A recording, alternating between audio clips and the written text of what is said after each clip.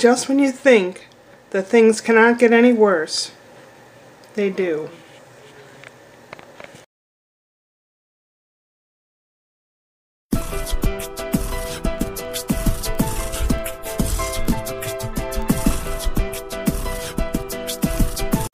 Guess what I got today? A warning notice. The boss said this is action to be taken. Second violation will result in an employee termination. He says I was on the schedule for yesterday and didn't come in and didn't call. I looked last Sunday, the schedule, at the schedule last Sunday and I was scheduled only this Saturday and Sunday from 5 to 7 p.m. and now I am being told that I cannot read that schedule and that the schedule was up by Friday, which it was not. Schedules usually go up Sunday night, although they should be up a week in advance.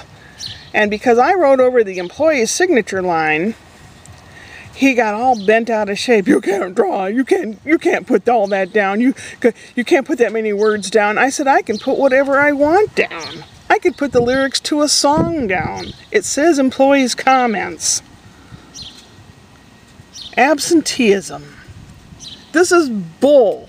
This is bull, and this means war. I do my work. I do my job. I do it in a nice fashion. I answer the phone friendly like, and I'm nice to everyone.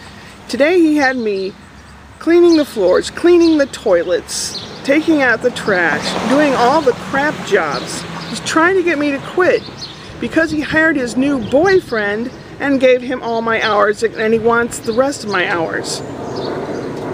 There has to be some kind of legal something. There has to be. This is insane. I have a problem with my brother flirting with the caregivers and the caregivers quitting. I have a problem with Z Pizza not issuing a check, although it was zero because I wasn't scheduled at all. I still need to prove that I didn't work for government assistance, which they're debating whether I can get any unemployment or assistance of any kind. I've been trying for six months. I'm also trying to look for a job. This is the most insane. I think I've died and gone to hell. This is crazy. Crazy. Is this Missouri only? Or is it like this all over the world? What is wrong with these people? Have I gone insane and I don't know it?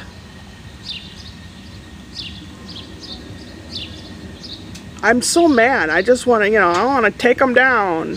Down to Chinatown. Days like this, it's really hard to go upward and onward.